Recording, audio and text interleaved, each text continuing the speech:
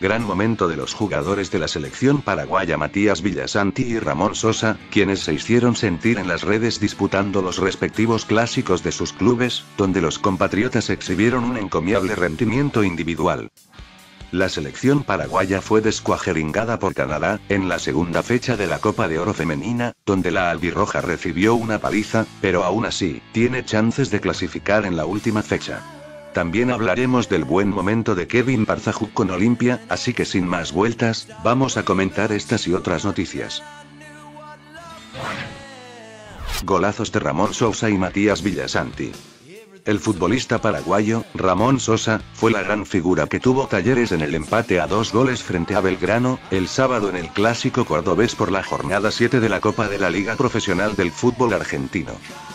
El futbolista de 24 años, que está viviendo un buen momento, se mandó un verdadero golazo. Belgrano había comenzado ganando el clásico cordobés, pero a los 31 minutos, Ramón Sousa ganó en velocidad, se dejó un rival por el camino y sacudió un tremendo remate que se coló en el pórtico rival.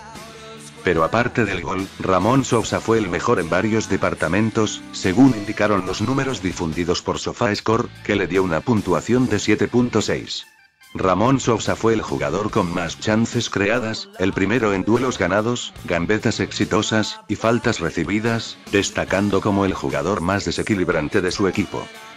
De esta manera, Sosa registra dos goles y una asistencia en siete partidos en la temporada 2024.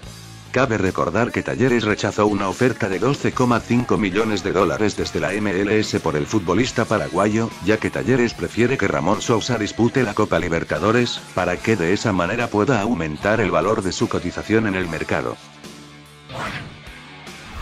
Otro paraguayo que se hizo sentir en la semana de clásicos, fue Matías Villasanti, quien marcó un golazo contra el Inter, en el clásico gaucho.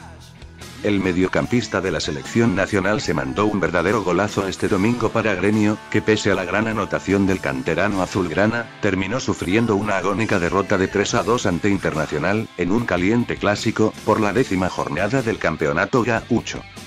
El volante de 27 años apareció en el minuto 56 para poner el 2-1 parcial, recibiendo un balón al borde del área, Villasanti ensayó una gambeta llevándose la pelota por delante, y definió de gran manera para marcar su segundo gol contra el Inter en los clásicos, vistiendo la camiseta del gremio.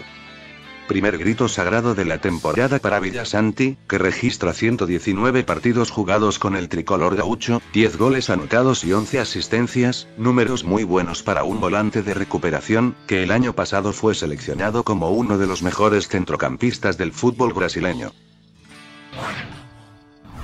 Dura derrota de Paraguay en la Copa de Oro.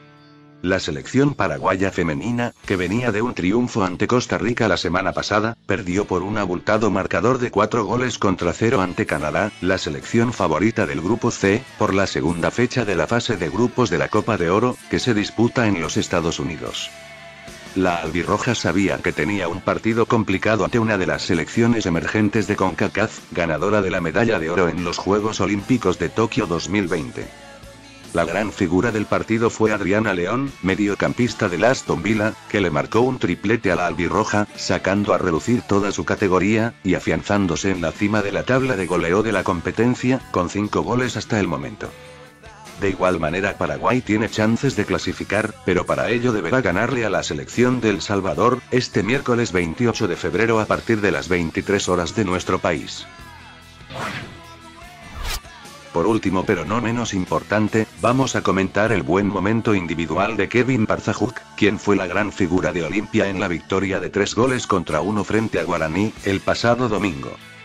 El delantero campeón preolímpico anotó un doblete para su equipo, ambos goles fueron goles propios de un centrodelantero, y de esta manera Kevin Barzajuk suma tres goles en dos partidos como titular en el Olimpia, donde hace un par de semanas muchos me criticaron cuando lo destaqué en la comunidad del canal cuando le marcó un golazo a Cerro Porteño, pero esto no va de colores, es momento de que todos apoyemos el buen momento de los delanteros paraguayos que están en condición de representar a la albirroja en los Juegos Olímpicos, así que esperemos que con este nivel. En fin, no hay mucho más para decir, como siempre quiero leer tu opinión en la caja de comentarios, así que lo dicho sin nada más que agregar, yo soy Yaguarete, gracias por estar ahí y nos vemos en un próximo video.